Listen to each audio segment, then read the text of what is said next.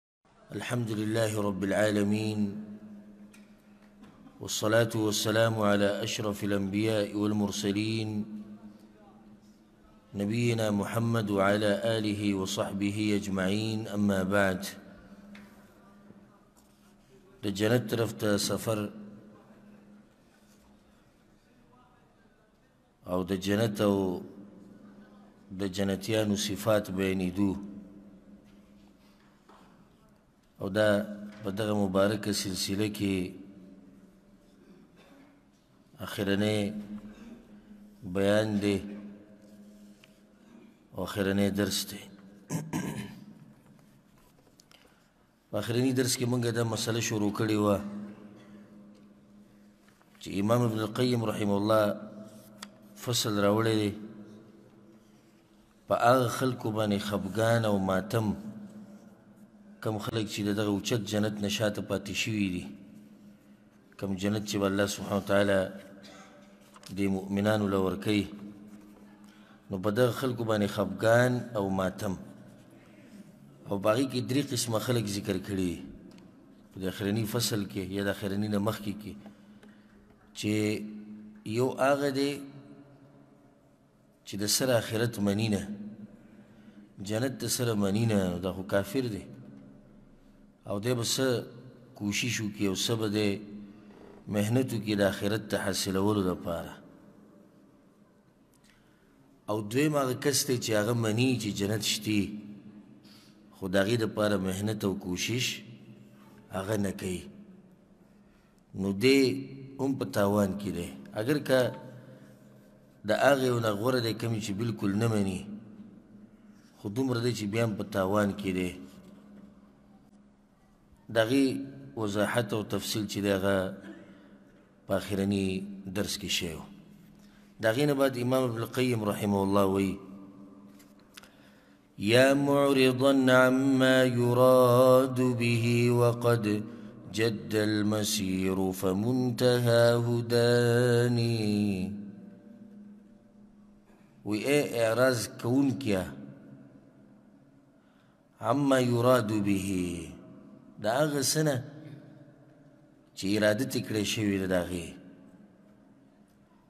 جد المسير فمنتهاه داني يقينا مزل تير شوی دی او انتها د مزل نږدې ده یعنی مزل تیر شوی د آخرت طرف ته او انتها د مزل هغه نږدې ده یعنی هیڅ پته لګي چې د مرګ به کله راځي او د مزل به کله ختمیږي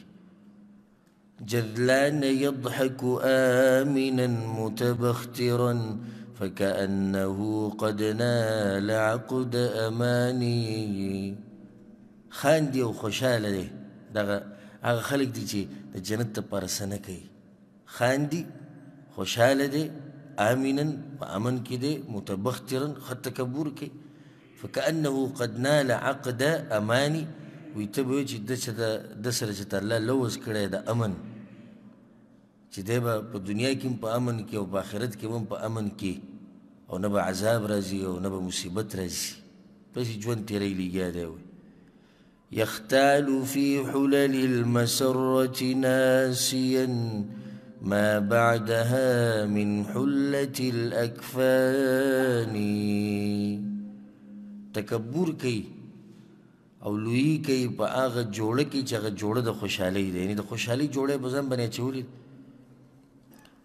په داسې حال کې چې هېره ده چې دغه جوړه چې هغه به دی اچوي چې هغه دغه کفن دی نو په دنیا کې د خوشحالۍ جوړه اچولې او د تکبر جوړه دنیا کې ښه مصروفه دی دومره مې وکړه او دومره به ګټمه او دومره به راسره یي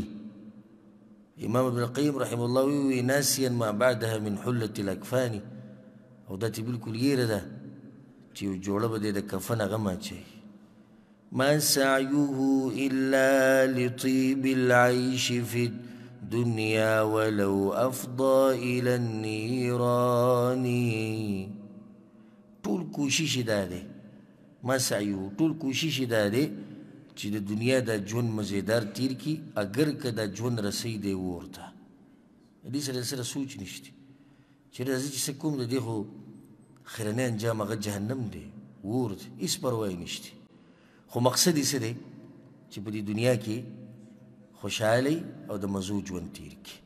قد باع طيب العيش في دار النعيم بذا الحطام المضمحل الفاني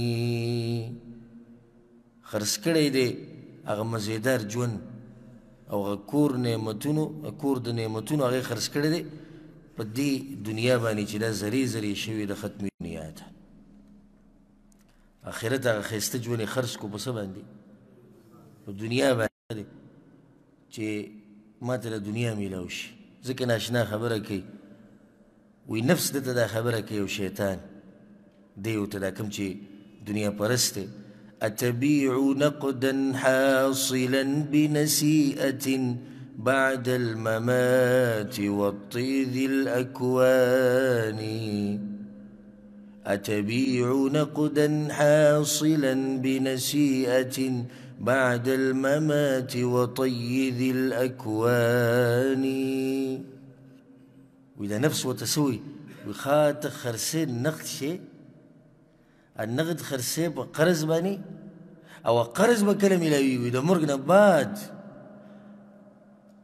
وطي ذي الاکوان چې کله خلک او مخلوقات را جمع شي اله به تاسو ملاوي دنیا څه ده نقد ده که قرض ده نقد ده او آخرت قرض ده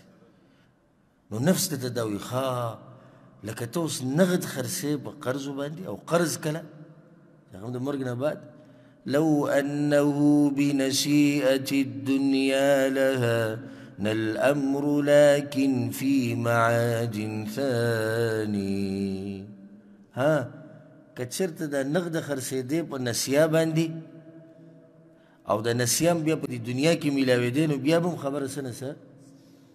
ګزاره به کړی و لكن في معاد ثاني نو هغه قیامت کې به غیوز ملاویږي نه غیته په دنیا پر صبر نه کوي د هغه وخت پورې خو دې صبر نه کوي چې زبا خیر دې صبر وکما او ما ته به دغه سچې ملاویږي د الله تر طرف نه غزما د پاره غوره د هر سن نه دغه ته سوچ ونه کو خو هغه نغد یې غوره کړه په څه باندې په آخرت باندې هغه نغد د دنیا ده او قرض هغه د جنت هغه کور دی او هغه نعمتونه دي او هغه اجرونه او هغه ثوابونه دي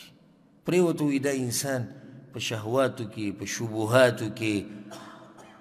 د یو طرف نه خبره تاوی را تاوی د بل هغه تاوی را تاوی یا تی انکار کوي یا یې مني خو د هغې لپاره محنت نه کوي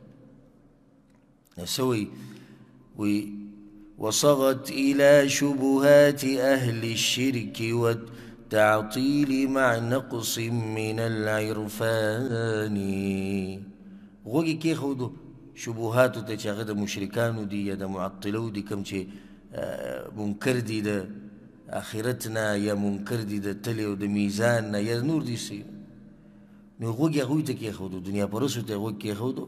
واستنقصت اهل الهدى ورأتهم في الناس كالغرباء في البلدان او هغه خلک لږ وګڼل کوم چې هدایت ولري مړه د آخرت والا سو یو موټی خلک دي او دنیا ولا څه دي ډېر دي نو وایي دم دا ووې دا چې کوم د دنیا په دې جال کې نښتی دی یوه دا خبره خو هم صحیح ده نو اهل الهدا هدایت والا خو ډېر لږ خلک دي او ویلي دل دوی په خلکو کې کالغرباء فی البلدان لکه مسافر چې په ښارونو کې ګرځي نو مسافر څومره ډېرې کې لګي او لګي کالغرباء د دیندار خلک غربا دي حدیث کې دا راځي رسول صلی الله علیه وسلم وی وی بدا الاسلام غریبا اسلام چې په اوله کې راغی ناشنا و وسيعود غریبا یو وخت به داسې راشي دا اسلام به بیا ناشنا شي فطوبى للغرباء پیغمبر صلی الله علیه وسلم وی دغه ناشنا خلکو دپاره د خوشحالي او د دوی دپاره د جنت نن سبا د دیندار خلک څه دي ناشنا دي غربا غرباء،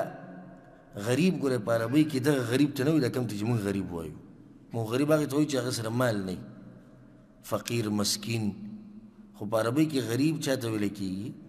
ناشنا ته نو دا اخرت والا ناشنا دي او لږ دي د په دې باندې دوکه شو ورأت عقول الناس دائرة على جمع الحطام وخدمة السلطان او ویلی د عقلونه د خلکو چې هغه ټول د دې خبرې نه تاویدو را تاویدو چې د فانی دنیا به څنګه را جمع کوو و خدمت السلطان او د باچایانو خدمتونه به څنګه کوو باچایانو ته به ځان څنګه رسو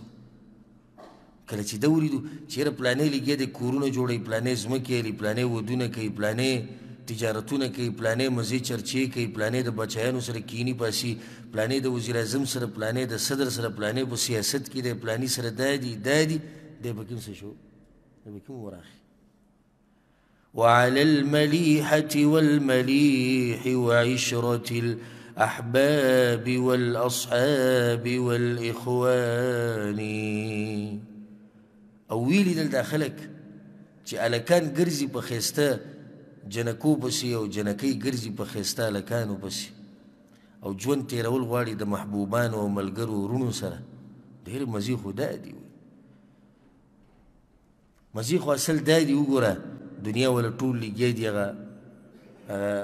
مال لا جمع کوي او څو ګوره پلاني ځي ته ورسېدو هغه تجارت وکړو هغه ځمکې واغستې هغه کور جوړ کړو هغه ګوره څومره ښایسته جنۍ پسې نښتی دی هغه جنۍ ته وګوره څومره ښایسته هلک یې واده کړو ټول په دې خبرو کې دا خلک لګیا دي بس دی پکې هم ورننوتو ډېر ناشنا نصیحت دی ښه امام ابن القیم رحمه الله په خپل وخت کې دا خبرې چې خلک لګیا دي په دنیا پسې نښتي چې چې وسوی ګورې هغه به څه وي په هغه وخت کې هغه دا دا خبره کړې ده چې دا د دنیا والا ولې دوکه شوی دی دی د دې خلکو د لاسه دوکه شوی د خو شا د معاشرې دوکه کړی دی چې هر سړی لګیا دی دنیا او دنیا دنیا او دنیا نصیحتونه هم ټول د دنیا په باره کې کېږي نو آخرت دپاره به دی څه وکړي او که دې د آخرت لپاره څه وکړي نو څوک وله هغه حوصله هم نه بلندوي یا اوچتوي وله چې او وروره ته تکړه سړی یې دا خو ته څوک نه وایي وایي ورته که نه وایي پلار تیم خپه وي دی دنیا دومره ټیټ نه کوي دغه کله په دین پسې ګرځي او کله په درس پسې ګرځي او کله بیان پسې ګرځي وروڼه تیم خپي ښځې تیم خپي معاشره تیم خپي نو دې په معاشره کې څه شي که الغرباء فی البلدان څه شي ناشنا شي لکه مسافر چې به د کلي کې ژوند تېری په ټول کلي کې دغه دینداره ته هر سړی ګوري چې کته ځي بره ځي نو ناشنا دی که نه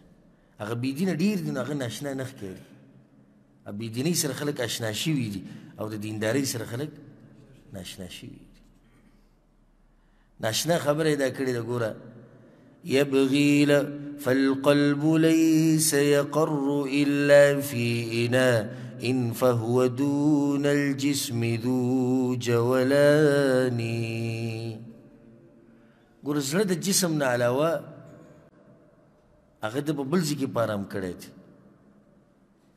نو دا جسم یې چکرې وایي ولې وایي ځان له ځای پیدا کوي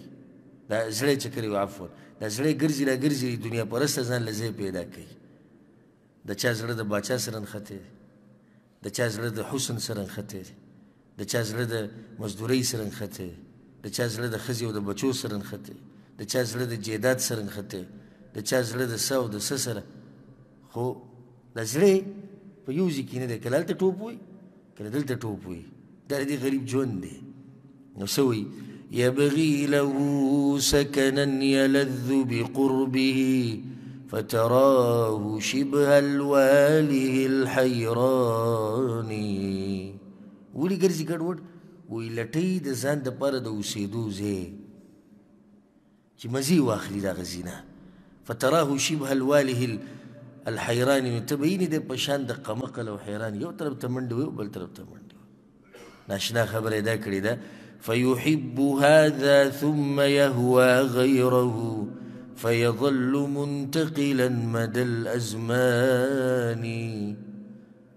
کله به مینه کوي دلته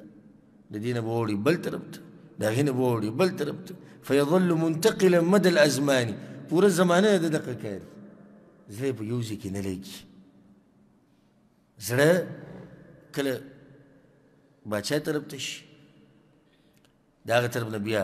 د جیداد طرف ته شي د جیداد نه بیا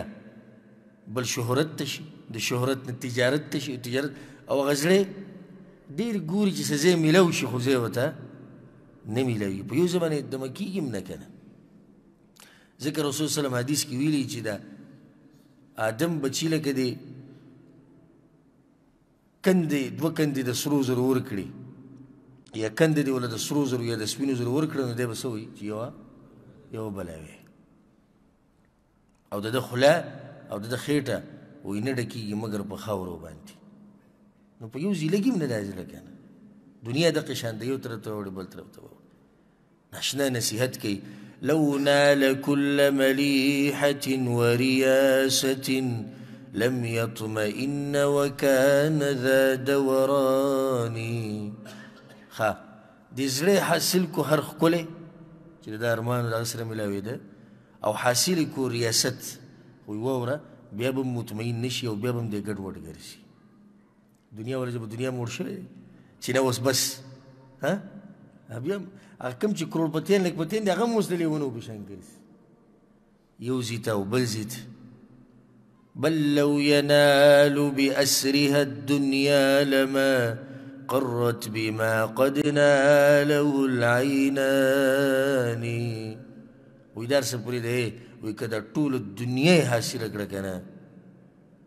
نو بیا به هم سترګې یخې نه شي په دغه څه راسه چې ورته میلاو شوي دي که چا ته یې ټولې دنیا د باچاهي میلاو شي نو دی په ارام شو بیا ها نه دی په ارام ځکه تا ته څه وایي دا ناشنا خبره کوي دا زړه چا پیدا کړی دی الله دا زړه ګوره په خپله د الله طرف ته تله غواړي ځکه که تاسو وینئ دا کوم سړی چې په ډېرو ګناهونو کې واقع وي او ټول ژوند یې د نافرمانۍ دی د دې د دې ګناهونو د دې ژوند نه هم تنګ کړي یو ځای لټوي او هغه ځای دا دی الله ته واپس کېده ګور دا کله چې دا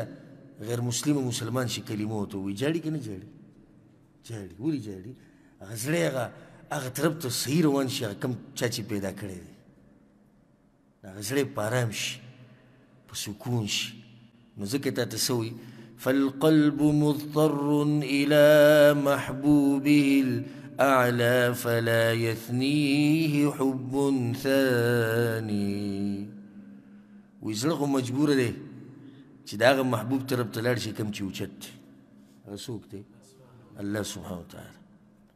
فلا يثنيه حب ثاني بل دې سي مینه نشته چې هغه دې مینه په شان شي کوم مینه چې دې زړه د الله سره او بل سنه مطمئن کیږي خو تجربه خبره مور پلار سره ملاو شه د بچو سره ملاو شه مالدار به می هر څه خو چې جمعه تر شو دوه رکعاتو کې ناشنا سکون زړه ته ملایږي او د الله په باره کې خبرې واوري د پیغمبر په باره کې دین واوري ابل شان سکونی وصلاحه وفلاحه ونعيمه تجريد هذا الحب للرحمن ناشنا نصیحت کړه وکړه غواړي چې روغ شي او که غواړي چې زړه کامیاب شي او که غواړي چې د زړه په نعمتونو کې نو تجرید هذا الحب للرحمن دا محبت خالص د رحمان سره کبه به زړه پاره وي خو که د رحمان سره محبت سره سره ته دا وی چې زه به دنیا په سیم باندې وامه او زه به دا کوم او زه به دغه کوم نو بیا هیڅ هم نه کېږي السلام ورحمة الله حیاک الله یا شیخ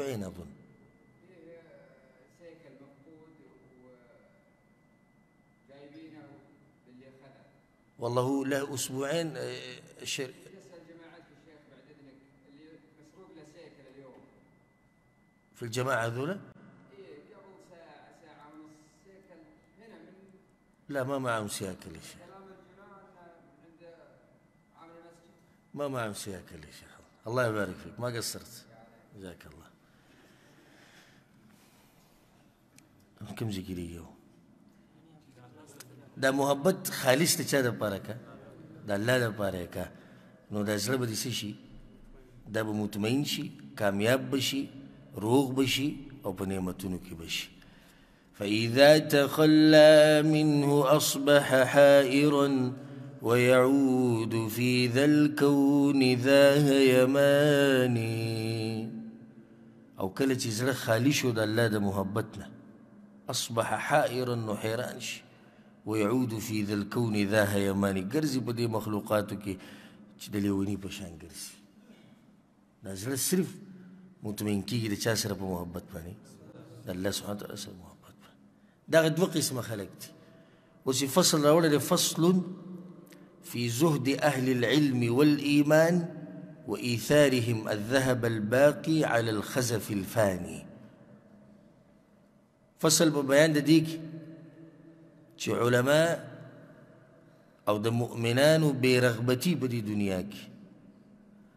او غوره کول د هغوی الذهب الباقي هغه سره زر چې پاتې کېدونکي دي علی الخزف الفاني په هغه کودري باندې چې فاني کېدونکي دي کودرې څه شي ته وي دنیا ته وي او فاني کېدونکي نو کودرې او بیا فاني کېدونکي دا هغه مؤمنان دي چې د آخرت لپاره کوشش کړی دی نو د اشعارو په آخره کې د دوی تذکره کوي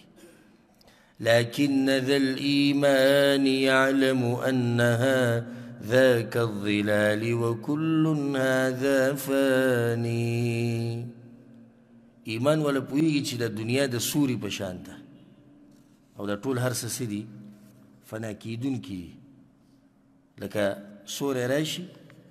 نو سوری د همیشه لپاره پاتې کېږي ها ختم شي دغه شان د دنیا دی یو څو مثالونه ته پیش کړي د دنیا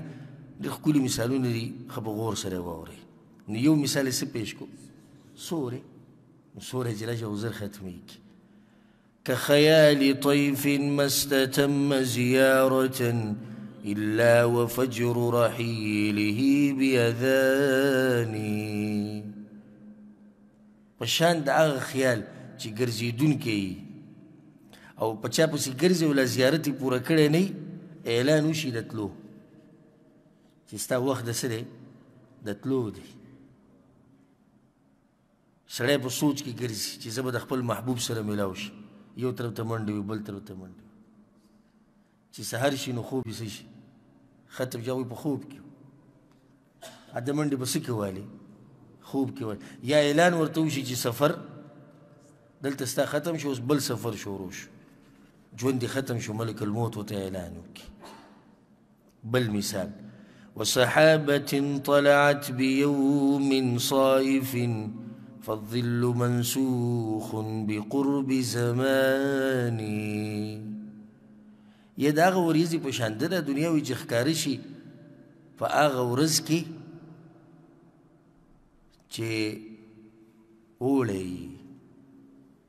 وریځ ښکاري چې په کومه ورځ سخت اوړی ګرمي فالظل منسوخ بقرب زمان خلک خوشاله یې لکه وریځې دي سوری جوړ کړی وریځو سوری جوړ کړی خو دې ته هم سوچ وکړه چې سوری ختمېدونکی دی په دې نږدې وخت کې د اوړي وریځ څه وریځ ولک سات له ښکاري شي ولک سوری وکړي خلک ورته خوشاله شي خو بیا هغه وریځ څه شي ختمه شي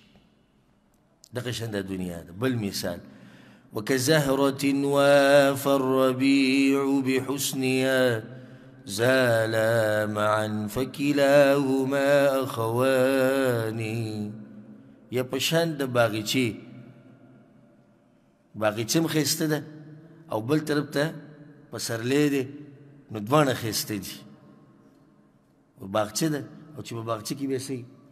پسرلی نو څومره حسن دی څومره ښایست دی خو خبره وي دا ووره زاله معا فکلاهما خواني دواړه ختمېدونکي دي او دواړه ملګري دي په دې کې چې ختمېږي پسرلی چې دا همیشه پاتې شي نه باغ چې دا همیشه پاتې شي نه دی پاتې شي دغه شان د دنیا ده خسته د پسرلی په شان سړی دوکه کوي خو دا موسم د پسرلی ده او د بهار ده دا میشي میشي خو نه یو څو ورځې او سبحان الله ګوره په دې موسمونو کې د دې موسم ورځې ډېرې لږي دې ته هم سوچ وکړي دا مثال هسې نه دی بیان کړی په موسمونو کې د دې موسم ورځې صحیح هغه لږي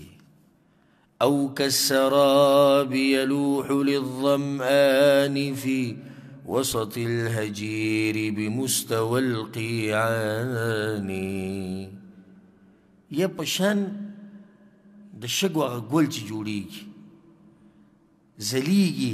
د لري نه او تګي ته دي څه ښکاري وي کله چې غرمه فی وسط الحجیر غرمه او په دې غرمه کې په دې ځمکه باندې کله سړی ګوري نو د شګو یو ګل دي چې پړقېږي سړی وایي چې دا څه دي اوبه ځي او چې نږدې ولور شو نو هغه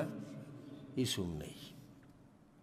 الله په قران کې دا خبره ذکر کړې ده والذین کفروا والذین کفروا اعمالهم کسراب کم چې کافران دي هغوی اعمال کړي دي په دې تمه دي چې یاره موږ ډېر څه کړي دي الله وایي د دوی داسې مثال دی چې ته په غرمه کې دې روډ ته ګوره چې ښکاري چې هغه لرې ځي کې څه دي اوبه دي نو دی ورته خوشحاله دی وایي زه اوبو ته به ورسو وبه یې څکو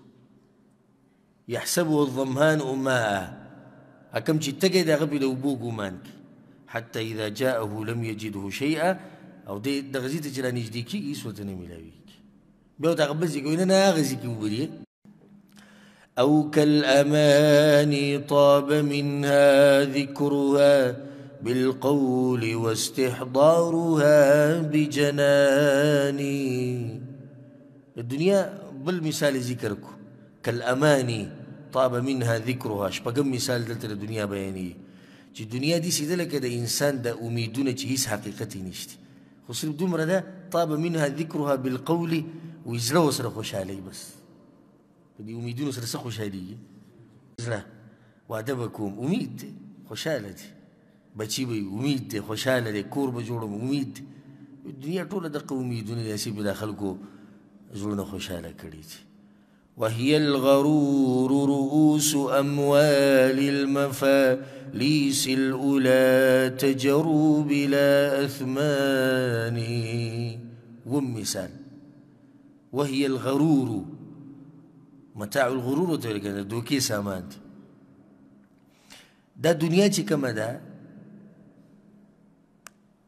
رؤوس اموال المفالیس دا رأس المال دی د مالونو د غریبانانو غریبانانو سره څه شتي پیسې خو سره نشته کوي تجارت وکړي رأس المال څه شی دی دا سوچونه او دا امیدونه ليس الأولى تجروا بلا أثمان هغه غریبانان المفاليس الأولى تجروا بلا أثمان ويا غریبانان چې بې پیسو تجارتونه کوي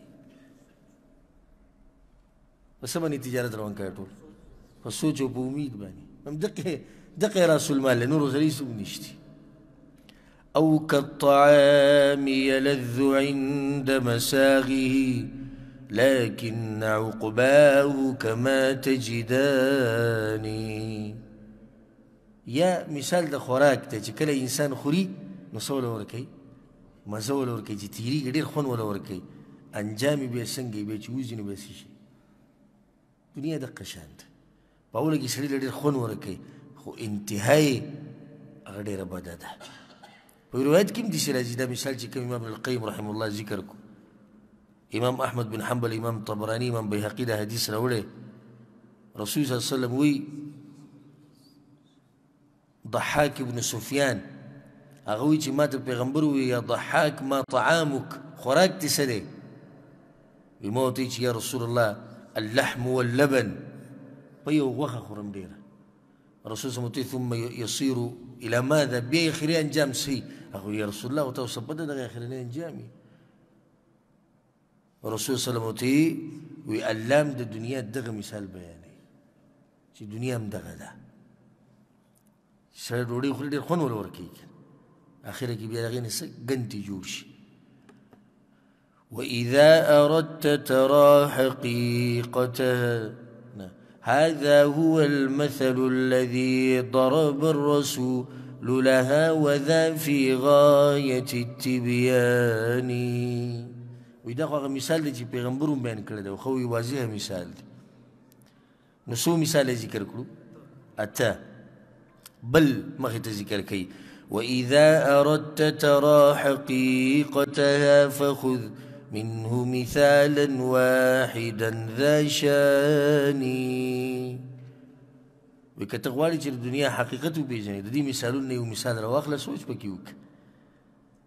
او دې ته ګوره ادخل بجهدك اصبعا في اليم وانظر ما تعلقه اذا بعياني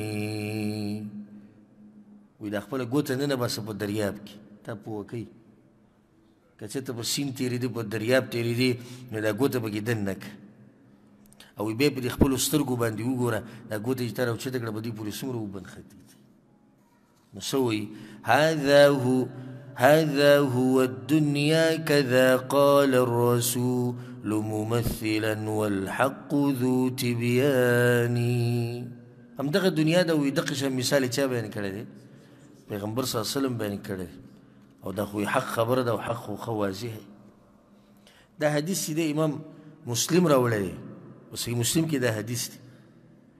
مستورد رضی الله عنه وی پیغمبر صلی الله علیه وسلم دا خبر کړی دی چې والله ما الدنيا فی الاخره د دنیا مثال د آخرت په مقابله کې هغه دسی دی چې تاسو کې یو سړی د خپل ګوته په دریاب کې نه نه باسي او بیره وباسي نو په دې ګوته پورې چې څومره نښتي دغه دنیا ده او آخرت دغه دریاب دی کوم کې چې کوم چې پاتې شو داسې دی د آخرت دی نو څه به دی راوچت کړي د دریاب نه دریاب ته وګوره د دنیا ده او تا پکې ګوته ووهله ورننوتې پکې څه به ترې راوچت کړې سړي ته راوچتولی شي نه شي راوچتولی هغه هر څه دنه لاړو پاتې شو وكذاك مثلها بظل الدوح في وقت الحرور لقائل الركبان همدغه شان پیغمبر وی د دنیا مثال ورکړی د غټې ونې سره چې یو مسافر د ګرمۍ په وخت کې قیلوله کوي د دې ونې په سوري کې دا د دنیا مثال دی دا هم حدیث کې راغلی دا لسم مثال چې کوم ذکر کړي عبدالله بن مسعود رضی الله روایت امام طبرانی رحم الله راوړی دی په کې دا دی عبدالله بن مسعود وی دخلت علی النبی صلی الله علیه وسلم وهو فی غرفه زه په پیغمبر صلی الله علیه وسلم پسې دنه لاړم هغه په کمره کې او پیغمبر صلی الله علیه وسلم په یو چټایي باندې ودو چې هغې وله په دې ولي کې یا په دې مټ کې یا په دې ملا کې نښې هم کړې وي وایي زه په ژړا شوم وي رسول صلی الله علیه وسلم راپاڅېدو ما ته وایي چې لا تبکي یا عبدالله مه ژاړه فإن لهم الدنيا ولنا الآخرة دا غوی د پاره دنیا د زموږ د پاره آخرت دی وما انا والدنيا زما وی د دنیا سره سکار پیغمبر صلی الله علیه وسلم وی زما د دنیا سره سکار وما مثلي ومثل الدنيا إلا كمثل راكب نزل تحت شجرة ثم سار وتركها زمو د زمو دنیا مثال خو دي سي ده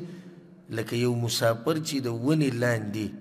د دمې د پاره کوشي ثم سار وترکها دمو کې به پاسې ولاړ شي دا د دنیا مثال دی مسافر یو پکې مونږ ټول او نه پکې څوک د اوسه پورې پاتې شوی دی هذا ولو عدلت هذا ولو عدلت جناح بعوضة عند الإله الحق في الميزان دا مو اوروي وي کدا دنیا برابر وي د ماشي د وزر سره په نس د الله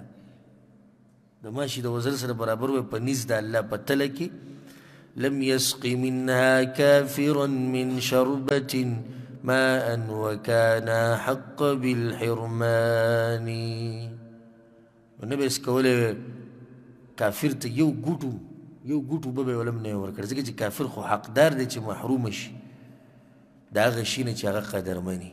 دا په حدیث کې دا خبر راغلی امام ترمذی رحمه الله دا حدیث راوړی سهل بن سعد رسول صلی الله علیه وسلم لو كانت الدنيا تعدل عند الله جناح بعوضه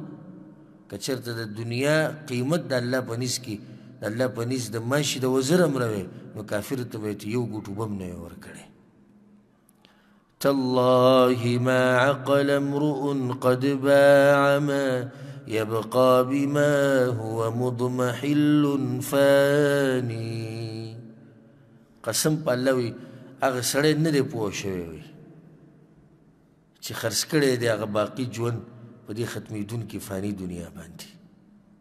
قسم وخوړو چې نه دی پوه شوی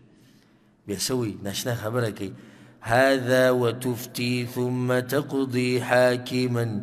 بالحجر من سفه لدى الإنسان دا مو وروي وي ته فتوی مو ورکې فیصلې هم کې او حکم هم دا کې چې هغه انسان چې کم عقل لري د کمقلتیا د وجې نه دی په خپل مال کې تصرف نشي کولی دا فقهي مسله ده لکه اوس یو سړی دی مال دی ورسره او دی څه دی قمقل دی خپلوانو شکایت وکړو محکمې ته چې دا د پلاني سره مال دی او خپل مال ټول تس نس کو پوهېږي پرې نه نو قاضي څه چل وکړي په ده باندې به پابندي ولګوي پابندي د څه د تصرف چې د ګوتې نشي والی په دې مال کې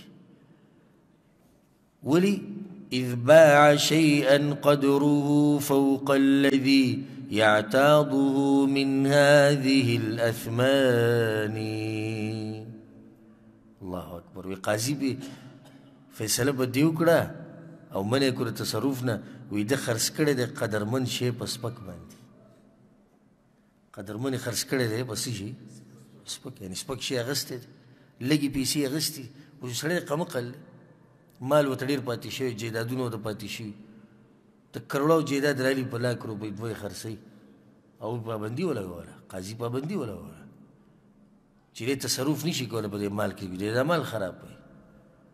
دې د لاسه اوس تا ته څه وایي فمن السفيه حقيقة إن كنت ذا عقل وأين العقل للسكران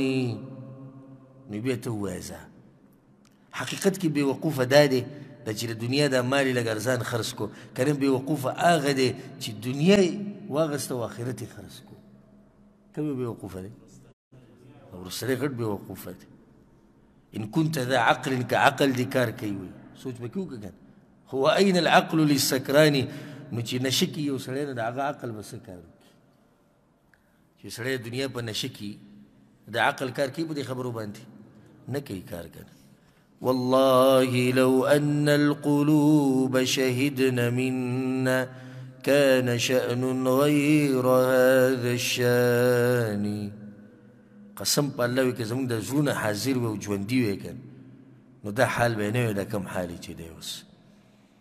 نفس من الأنفاس هذا العيش إن قسناه بالعيش الطويل الثاني يو سا ژوند دی وي څومره ژوند دی یو سوا یو سا ژوند دی وي که موږ چې ته قیاس کو او تله کې واچو دا ژوند چې هغه یو سا دی او هغه ژوند په بله تله کې واچو چې هغه اوږد ژوند دی بالعیش الطویل الثاني یو ساعت ژوند دی او دا چا چې دا څوک چې دا خبرې کوي د ګورې هغه یو ساعت تېره کړې ده چا چې څوک چې دا نصیحتونه موږ ته کوي پکې خپله نشته څنګه ناشنا خبرې کړي دي بلکل د دنیا ژوند یو ساعت دی دغه یو ساعت دی بل ساعت راځي ها بس چې دا ووته قصه څه شوه ختمه شو نو بیا تا ته ویوي څه ساده انسان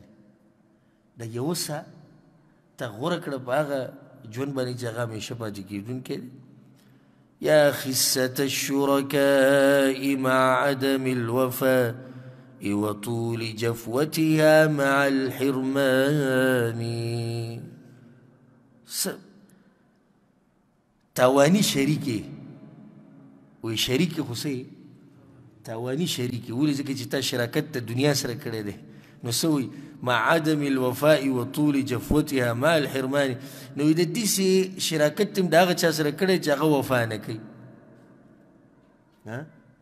دنیا چا سره وفا کوي نه محرومه به یې د همیشه د دنیا نه همیشه دوکې دړکې نو ځان له دې شریک کتلی دغه شریک دې مسه ناشنا شریک کتلی شراکت خو به سړی چې ته د دې شریک سره وکړي چې وفادار خو یي که نه چې کله تا پسې کسان راځي تا سره شریک کېږم په دې مال کې هر سړی شریک کړي او ولې ولټي چې او شریک به شي خو ما دې سړی په کار دی چې وفادار یي نه ځکه چې دا خو غټې خبرې دي سبا له راته د هر څه پرېږدي په منځ کې دا خو ما تباه کړي نو دې دنیا ولا شراکت قایم کړی د چا سره د دنیا سره نو څه ناشنا شراکت ته ستا ده نو د دې دنیا سره چې هغې له د اوسه پورې چا سره وفا نه دی کړی څوک پکې نه دی پاتې شوی یعنې څوک دې وښیي موږ ته په هغه شریکانو کې چې له دې سره شریکانو هغه شریک هغه شریکان شتي ها هغه هم نشتي د کومو سره چې سمه دنیا وه آخرت یې بلکل پېژندنو د هغوی خو سم شراکت و د دنیا سره کوم ځای کې خاورو کې پراته دي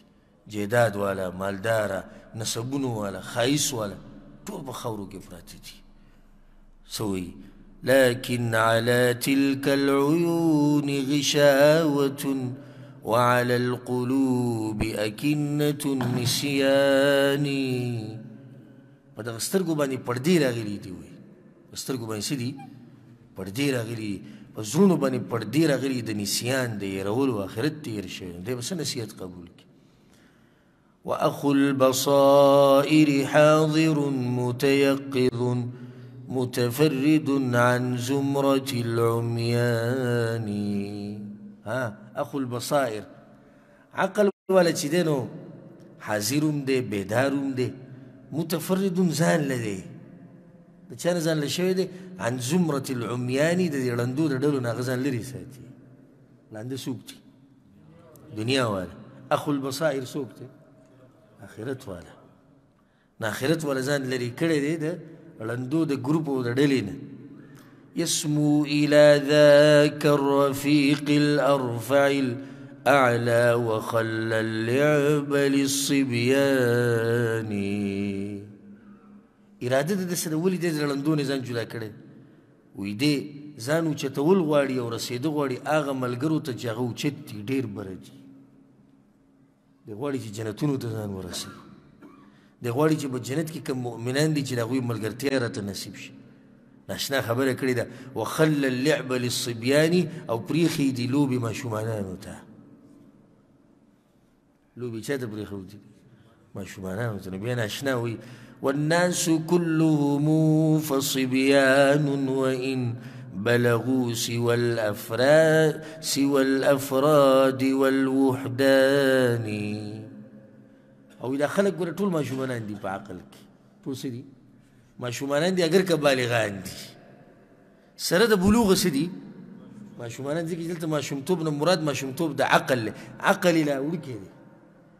اگر که بدن غټ شوی دی او بالغ شوی دی واده هم کړی دی او بچي هم شته خو عقل یې څه دی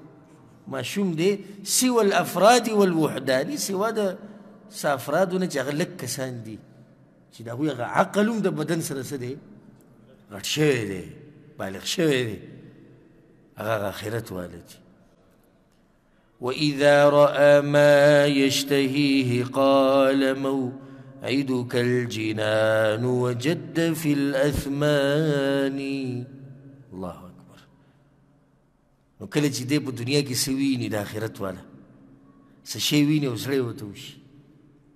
دنیا ده دنیا چې انسان مخې ته راشي رسول صلی الله علیه ان الدنیا حلوه خضره دنیا خیستم ده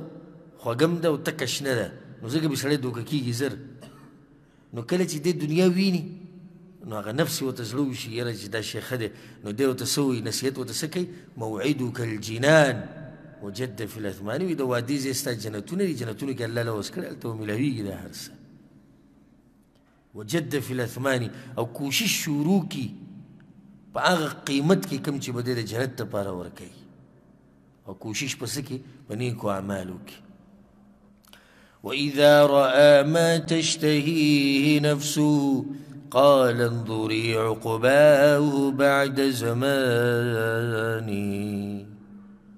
او کله چې ویني یو شی چې د ده دا نفس یې غواړي نو دی د خپل نفس ته نصیحت کوي څه ورته وایي وایي وګوره نفسه د دې کار ګوره لږ د دې شي او د دې کار لږ وخت بعد دا انجام دی دا خپل نفس له څه ورکوي درس ورکوي عبرت پوه کوي یې سوچ وکړه دا ته چې څه غواړې دا خو صحیح دی زه به یې راواخلم خو بیا بیا څه اخرنی انجام یې وایي څه دی واذا ابت الا الجماح اعاضها بالعلم بعد حقائق الايمان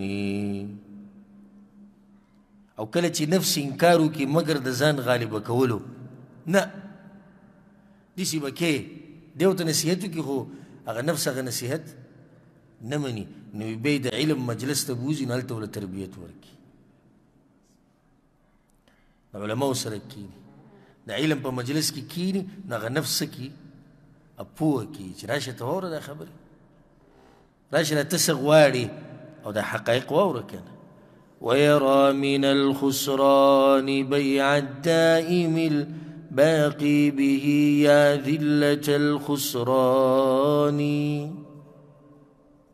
او دی هوښیاري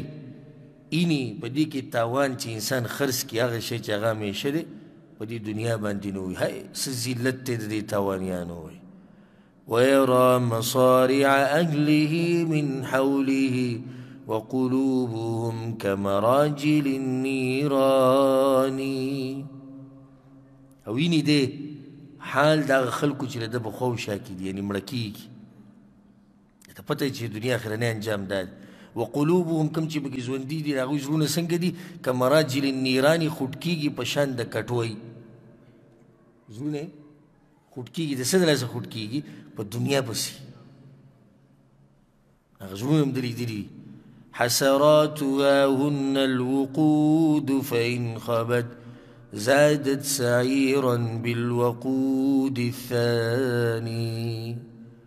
وي زړه خوټ کیږي نو دا زړه په څه خوټ کیږي خشا کې څه شی دی هغه د افسوسونه امیدونه دي وایي دنیا پرستو د زړه ګوره همیشه خوټ کیږي او افسوسونه همیشه افسوسونه دسی شی وی خبر وی دسی نه وی شی تو ګره و می نه ګټلې پیسې کور می جوړ نه کو جیداد می والا غس نبی سو فإن خبت کچرته دا لمبه کمش لمبه شي د ور دا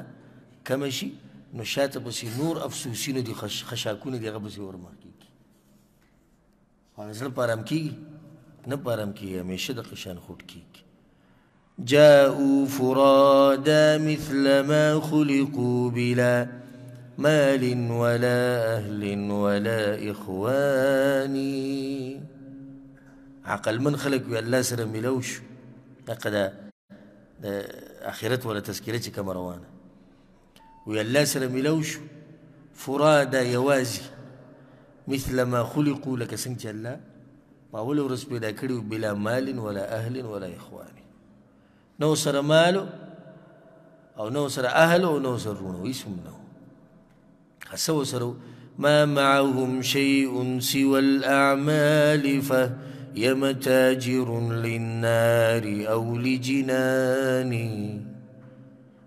هیڅ هم ځان سره نه راوړي سوا دغه عمل نه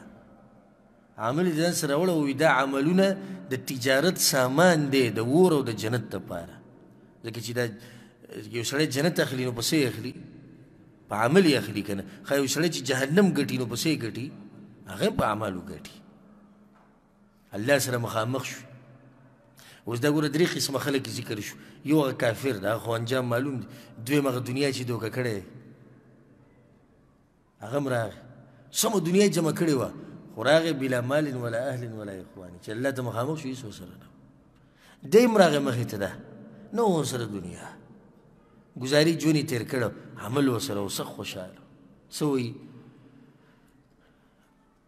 تسعى بهم اعمالهم سوقا الى الدارين سوق الخيل بالركبان دا عملونه وي انسان شړي دا عمل انسان شړي یا جنت ته شړي او یا جهنم ته شړي پشان د د شړلو د اسونو لکه سړی چې په اسونو بسره شي د اسونو سکی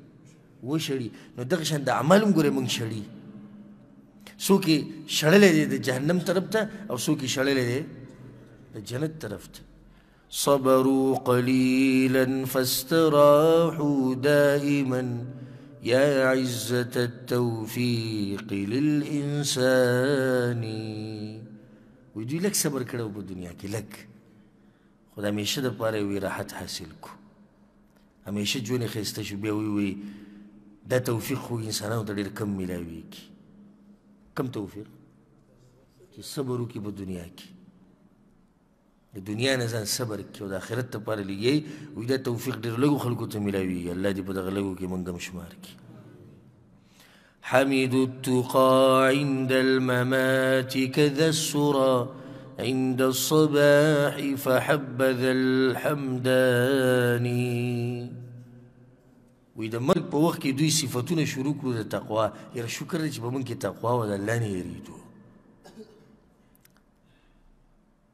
که د سوره عند الصباح لکه څنګه چې صفت کوي سحر ټیم کې هغه انسان چې د شپې مزلې کړي فحبذ الحمداني دواړه صفتونه ډېر اوچت صفتونه دي لکه اوس یو سړی دی په لاره کې ورته دښمنان ناست دي یریږي چې دشمن به په ما باندې څه وکړي حمله وکړي نو سفر یې د شپې په تیاره کې وکړو چې څوک مې وینني منزل ته ورسېدو سهار له سم صفتونه کوو روی شکر دی چې دا سفر هم د شپې کړی دا خو چې موږ د وختي راوځو که لیټ شوی خو د ورځې به راته بیا مشکل جوړ کړی دا خو پلانیزي کې او پلانیزي کې او پلانیزي کې به راته بیا مسله وي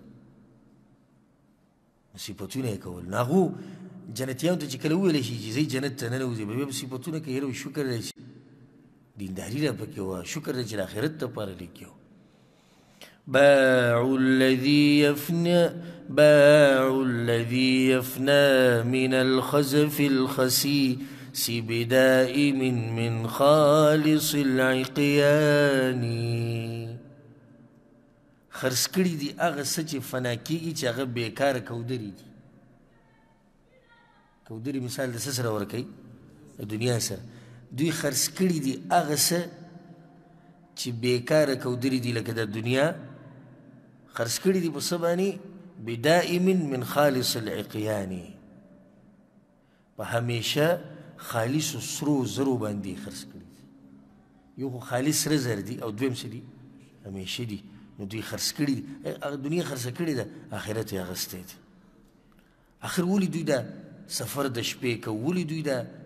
صبر وکړو په دنیا کې ولې دوی دا محنت او کوشش وکړو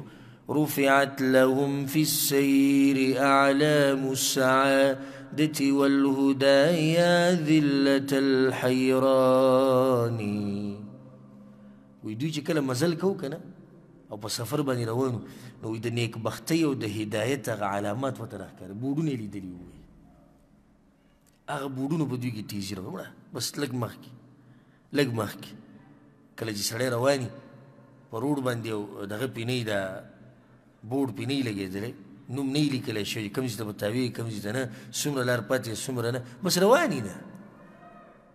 ستړی هم شي او منزل هم نه معلومه او ګډ وډومي او حیران دغه دنیا والا دی ګډ وډ دی غریب دوی چې کله مزل کو نو بوډونه د خوشبختی او د نیک بختی او د هدایت و تر اخکاره شنو مساقه لارې ونیوه یا ذلت الحیران وي څه ذلیله دی هغه انسان چې حیران ولاړ دی ګډوډ دی په دې دنیا کې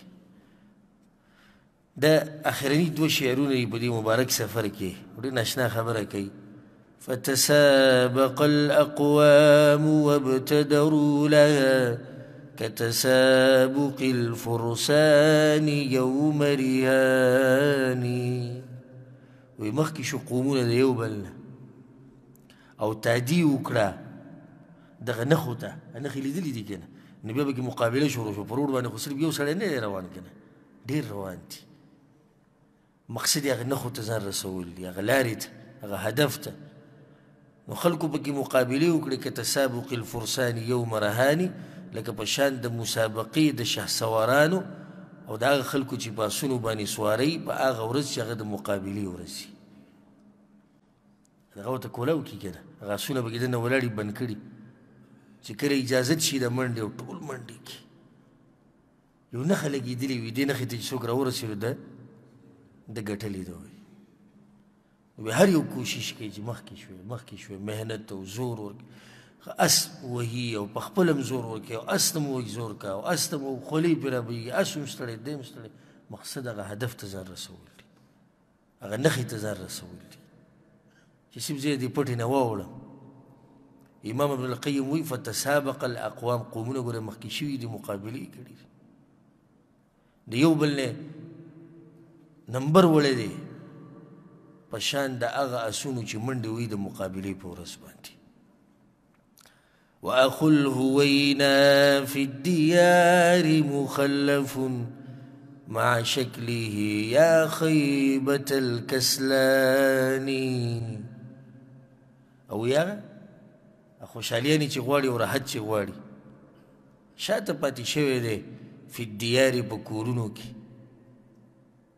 خلک تللي دي او دی شاته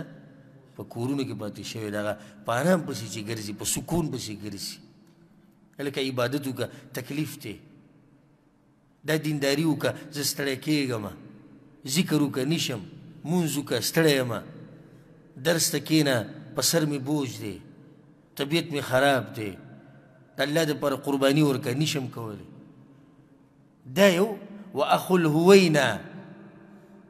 او راحت خوخون کې فی الدیار مخلف پاتې شو په کورونو کې شاته وي د چا سره پاتې شو مع شکله پاتې شوم د خپلو ورونو سره چې هغه هم د ده په شان دي د دنیا ولا پاتې شو د دنیا پرستو سره شات یا خیبت الکسلانی هاي سلوی تاوان دې د دین راست خلکو په کورونو کې ناستې دوی دا سوچ ته کې څه مونږ وګټله او مونږ په پستو قالیونو په پستو طلاینو کې ناسو بس هر څه مونږ را جمع کړو نه نه وي یا خیبت الکسلان او بغټ تاوان کې پراته دي چې قومونه ته مخکې لاړو او دوی پاتې شو شاته د دې سره زمونږ هم دغه مختصر سفر د دې مبارکې دورې سره هغه اختتام ته ورسېد تقریبا ما ته ښکاري چې څه د پاسه څلور میاشتې د دې مبارکې دورې کې دي چې موږ پکې دا درسونه او دا بیانونه کول حاصل څه جنت خسته ځای دی چې ده که نه په دې خو ورسېدی که ها بس خبره ختمه شو دوره ختمه شوه اشعار ختم شو تقریبا اته سوه شعرونه مونږ ووایي سره د تفصیل او د وضاحت اخري نتیجه جنت خسته ځای دی بس ډډه ولګو ها مقابله شروع شوې ده فتسابق الاقوام اشعار په څه باندې ختم کړو په دې باندې ختم کړو قومونو ګره مقابله کړې دي وابتدروا لها جلتی کړی ده منډي والی د جنت طرف ته موږ د جنت صفات بیان کړو دا ولې ورځې نه لګېږو یا طالب الحور الحسانې یا خاطب الحور الحسان دا غزي موږ شروع کړی دا اوس پورې سره پاسه اته سوه شعرونه نتیجه سره وته صرف ما او تا جنت وپېژندو بس خبره ختمه شوه نه دا ما دې دپاره وکړو دا بیانونه چې ما کړي دې دپاره دي چې په ما او تا کې جذبه راشي دغه جنت ته ګټلو د دې لپاره ما دا بیانونه تاسو ته کړي بل څه مقصد مې نه و نه مې دا مقصد و چې تاسو ته مزې واخلئ خوند واخلئ او قصه ختمه شي او نه زما دا مقصد و چې زه کتاب ختم کړم یا شعرونه ختم کړم یا موضوع ختمه کړم او خبره لاړه د ټول دې لپاره چې محنت وکړو کوشش وکړو دغه جنت لپاره د هغې لپاره تکلیف تیر کو د هغې لپاره سختې تیرې کو د هغې لپاره قرآن او حدیث عملی کو په خپل ژوند کې راولو د دغه جنت د ګټلو لپاره د خپل نفس تربیت وکړو هغه تربیت کوم ځای کېږي امام ابن القیم رحم الله لږ ساعت مخکې ووي وي که نفس دې خبره نه مني نو څه ورسره وکړه د علماو خوا له یې بوځوئ که نفس ستا خبره نه مني او دنیا طرف ته ډېرې منډې وهي نو ویرای وله د علماو سره کښېنوه چې تربیت واخلي چې پوه شي چې کله پوه شو دا نفس په حقیقت د دنیا باندې او په حقیقت د آخرت باندې نو بیا به تا نه تنګوي او بیا به تا نه دنیا هم نه غواړي ځکه تربیت به دې شي شهادت به شي د جنت په باره کې به موږ څه خبرې وکړو هلته خبره الله ختمه کړې ده وي وي هغه څه مې پکې تیار کړي دي ما لا عین رأت ولا اذن سمعت ولا خطر على قلب بشر هغه څه پکې دي چې غوږونو نه دي اورېدلي سترګو نه دي لیدلي او نه چې ته په زړه کې د هغې سوچ تیر شوی دی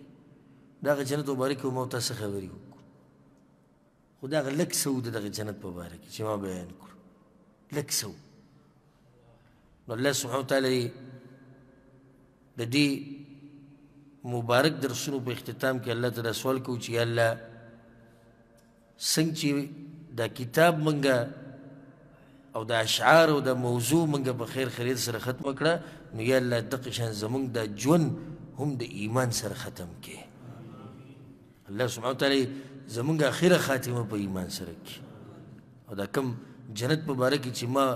او تا او کتون کې او لید او ریدون کې مونږ ټول سره پاس سلور میشتې د دې جنت په باره کې خبرې واورېدې الله یې دغه جنتونه مونږ ته نصیب کړي او الله سبحانه وتعالی دې مونږ له توفیق راکړي او الله دې موږ له طاقت راکړي د دې چې موږ د دغه جنتونو لپاره اعمال ډیر کو او دغه جنتونو لپاره مهنت وکړو الله سبحانه تعالی دې څنګه چې په دې مبارک جمعات کې موږ یو ځای کړیو او څنګه چې د مبارک خبرې او دا مبارک درسونه مونږ واوریدو مونږ بیان کړو ځان هم پرې پوه کړو نو الله سبحانه وتعالی دې مونږ په جنت الفردوس کې په دغه اوچتو جنتونو کې الله دې مونږ د پیغمبر صلی الله علیه وسلم سره یو ځای کړي او الله سبحانه وتعالی دې مونږ ته په جنتونو کې د یوم المزید هغه نعمتونه دې الله مونږ ته نصیب کړي او د الله سبحانه وتعالی مخ ته کته او د هغه دیدن الله یې دغه نعمت مونږ ته نصیب کړي الله سبحانه وتعالی زمونږ